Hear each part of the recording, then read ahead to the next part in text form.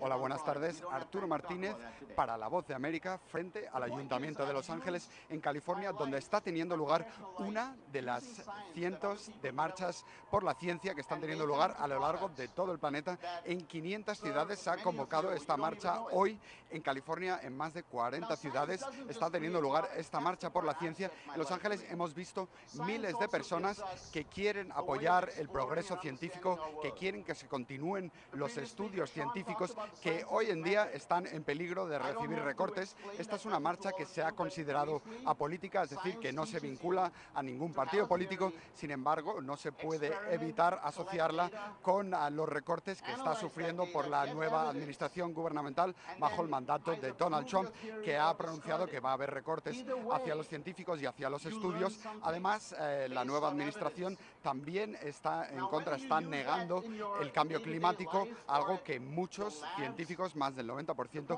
afirman existe y afirman que el ser humano está causando el calentamiento global. Así pues, hoy hemos podido ver marchas en todo el, planeta y aquí estamos viendo señales que hacen referencia a que el cambio climático no es un hecho alternativo, a que es un hecho real, hacen alusión al calentamiento global, al peligro de las especies, muchas asociaciones medioambientales aquí también hay, hay científicos, pero también hay ciudadanos que han venido a mostrar su apoyo a la ciencia.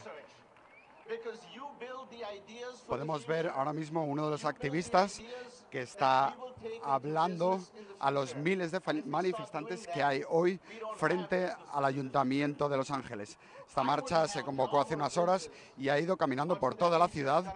Ahora estamos aquí con una científica de la NASA, Farisa Morales, que quiere que va a hablar con nosotros sobre su historia y de por qué está aquí hoy. Buenas tardes, Farisa, ¿cómo estás? Hola, buenas tardes, Arturo. Muy bien, muy eh, emocionada con este mensaje que llevamos el día de hoy a la nación, que es ah, eh, un, un, parámetro fundamental que las ciencias no se sacrifiquen, porque es la única manera robusta que sabemos de entender verdades de la naturaleza y toda la exploración que hemos hecho, por ejemplo, de los fondos que se han dedicado para exploración espacial, han acabado en, en, ah, mejorar nuestras vidas, porque muchísima de esa tecnología acaba en las manos del, del, pueblo, ¿no? de, de, Estados Unidos, así que, y de todo el mundo. Ah, hay una infinidad de, tecnología que tenemos gracias a este tipo de exploración, así que estoy aquí muy emocionada y continuando ¿Cuál es uh, su origen? Uh, ¿Sus padres son mexicanos? ¿Cómo fue para usted uh, estudiar aquí en Estados Unidos y llegar a formar parte de la NASA como, como mujer hispana? es, es, es extraordinario, definitivamente. Uh, mis padres son mexicanos, vinieron y emigraron a Estados Unidos cuando yo nací acá, antes de que yo naciera. Pero yo fui a México y crecí un poquito allá, estudié mi lengua y, no, estando allá nunca pensé que me iba a involucrar en algo tan extraordinario, eh, investigaciones más allá de la atmósfera. Ahora vengo a Estados Unidos, aprovecho estas oportunidades que, que se me presentan acá y sí, hubo, sí ha habido uh, fricción cultural, ¿no? Mi familia no necesariamente entendía que yo podía tener hijos y a la vez estudiar y a la vez trabajar, pero estamos en, en esta, en, esta, en este año, en, este, en esta época, y tenemos que aprovechar las oportunidades. Así que mi familia hoy está muy orgullosa de mí, obviamente, y, y mi trabajo me ayuda a poner este planeta y lo que tenemos aquí en contexto, ¿no? Si hay otra vida en otros, si hay vida en otros planetas, si hay otros planetas, cuál es la frecuencia de lo que vemos aquí y allá. Y es una exploración interna también, así que mi familia está muy bien, uh, sorprendidos. uh, también yo un poquito, pero aquí, echándole ganas. ¿Qué peligro corren los uh, estudios científicos hoy en día?